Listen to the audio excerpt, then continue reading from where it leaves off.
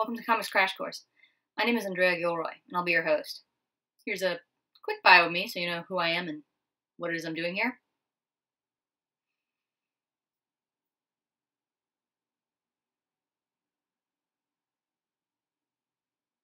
Okay, that's over. Let me tell you what Comics Crash Course is going to be.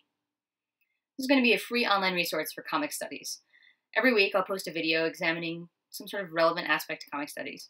Maybe you will explore an important moment in comics history, like the birth of modern comics in US newspapers, or the war on comics in the 1950s.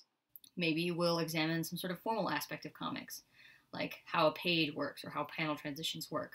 Or maybe we'll examine some sort of interesting theoretical question, like how we even define comics in the first place. Or maybe we'll look at important creators or important texts.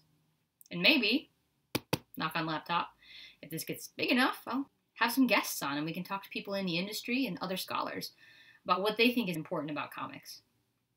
The important thing is Comics Crash Course will always be free and will always be accessible to people, high school, college, and older. I'm happy for teachers and scholars to use it in the classroom. So this sounds like something that's up your alley. If you're a fan, a scholar, somebody who wants to make comics, or somebody who just wants to know more about what's the big deal with comics, why they're interesting, why they're cool, well, hit subscribe. Content will start rolling out within a month or so, and I'm really looking forward to this project. Hope to see you all around. Here we go.